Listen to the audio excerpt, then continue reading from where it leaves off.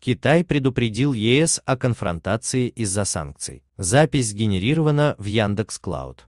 Китай предупредил ЕС во вторник 16 марта о возможной конфронтации, если будут приняты санкции из-за нарушения прав уйгуров в Синьцзяне и реформы избирательной системы в Гонконге. Об этом сообщает Ле Фигоу. Хочу подчеркнуть, что санкции – это разборки. Санкции, основанные на лжи, могут быть истолкованы как преднамеренное нападение на безопасность и развитие Китая, предупредил посол Китая в ЕС Джан Мин в ходе дискуссии, организованной Европейским центром политики ЕС в Брюсселе. Правительство Китая несет ответственность за защиту безопасности и благополучия людей в Китае, сказал китайский дипломат. Посол добавил, что Китай хочет диалога и пытается избежать столкновений. Он также отметил, что Китай не отступит, если ЕС продолжит настаивать на конфронтации.